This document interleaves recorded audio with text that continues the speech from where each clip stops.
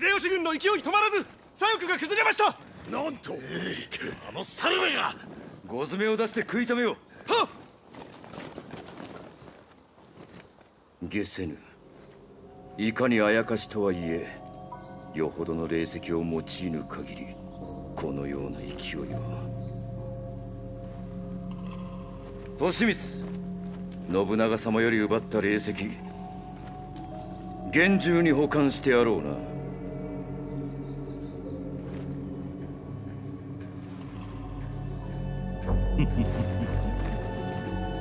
答えよ利光霊石をどこへやった？